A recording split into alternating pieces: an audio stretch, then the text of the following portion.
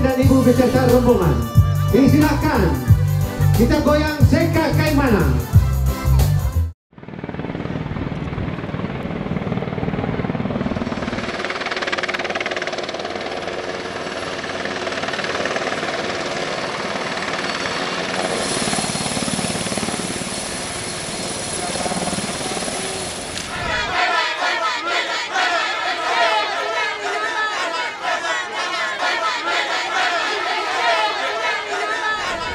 Jalan antara Manokwari dan Pegunungan Arbak yang tadi Pak Bupati menyampaikan minta segera diselesaikan dan diaspal.